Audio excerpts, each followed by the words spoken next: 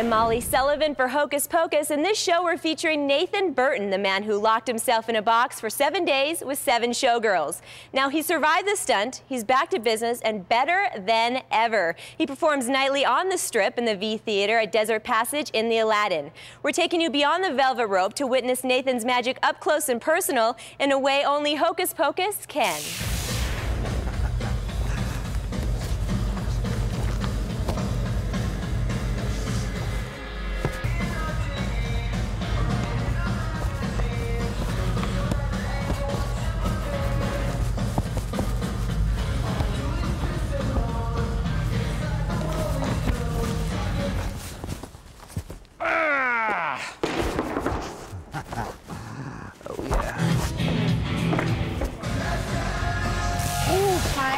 I work with Nathan Burton as a showgirl. Uh, my name is Jessica.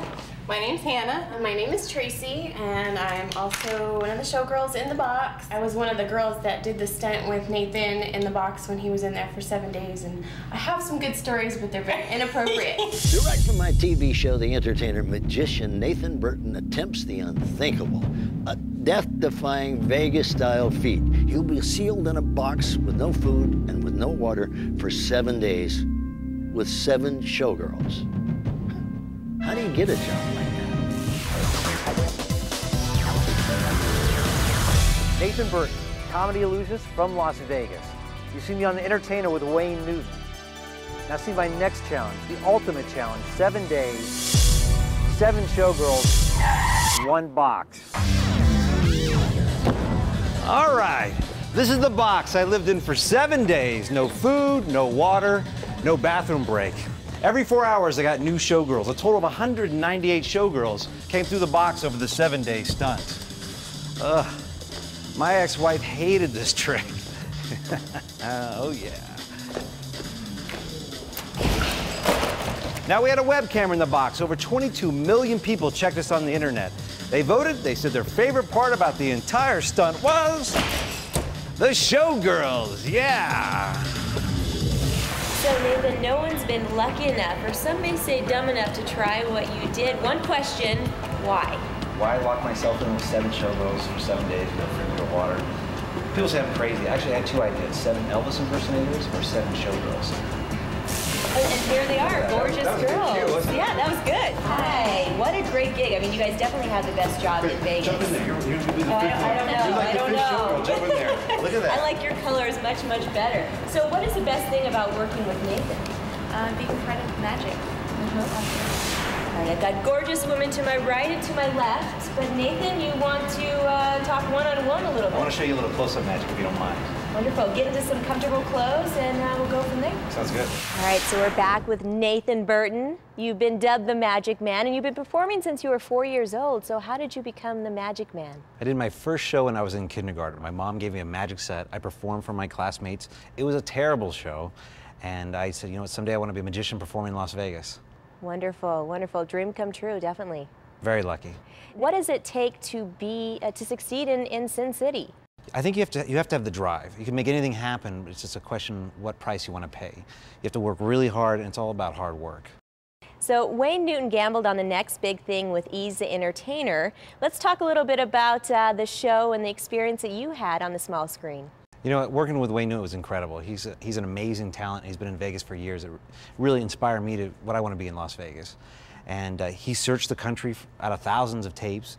He narrowed it down to 25. They took those 25 to LA, and out of that 25, they picked 10, and I was the only magician picked.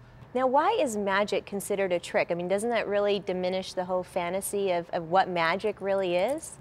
Well, for me, it's not about fooling you. It's about, I want you to come to the show and I want you to be entertained. I want you to laugh. I want you to have a great time. I want you to walk out and be like, that was a, it's the best time. You know, if I fool you, hopefully I do a little bit, but it's not about that. It's about entertaining. So, being a magician, do you pull practical jokes on people? We, we've been known to do some practical jokes backstage. Like sometimes I'll be on, and they'll they'll prank me even on stage. I'll be on stage and one of our, I'll look over and one of my stage hands will be completely naked, and I'll be trying to talk and be serious, and I'll, I'll be like, you know, try not to break, you know, what I'm what I'm doing. And but we, uh, it was April Fool's just a while ago, and the showgirls were putting like little stuff in my shoes, and there was a mouse in the box. April Fools, we put a we put a rat in the box, and he ended yeah we put a rat in the box and like a popper underneath his shoe, and it, when he lift, lifted the shoe up, you didn't even it didn't even work, but he ended up playing a trick and he was just like, oh if you guys ever put anything in the box again, like screamed at us for it, but it was that was his April Fools. So I hear you have some tricks that you're going to try and teach the novice over here. You wanna, actually, uh, I picked up some spoons over at the restaurant next door, and I just want you to watch. If you can watch close, if you can zoom in and watch, you're gonna see it kind of bend a little bit. Uh, do you see it? No, you don't. Okay, let's watch. It's gonna start to go. Wow. Starting to go. Just like that, just a little bit. I need you to put your hand out for me. put it out in a cup like that. Oh my Whoa. goodness. Pull on it. Check it out. Wow. I brought out the big stuff for you. I, uh-huh. Since we're talking about restaurants, I picked up some ketchup from next door. Now I'm going to make it disappear. Now you're sitting right here, so watch close. Here we go. You see it in there, right? I do see it. Here we go. Watch. Ready? And it's gone. Okay. I can tell you're not Wow. impressed. Let's try it one more time here. Okay. Ketchup bottle. Here we go. Ready? It's in there. It's in there. Okay. Ready? All right, so show me a little uh, a challenge. A Okay, challenge. this is, you can actually make money in a bar with this. This is the challenge. You can pick up a napkin. This is a bandana, and you ask them to pick it up and tie it into a knot without letting go. Uh-huh. So you have to tie it in a knot. Now this is the challenge. Without letting go. Without letting go. So once you grab it, don't let go.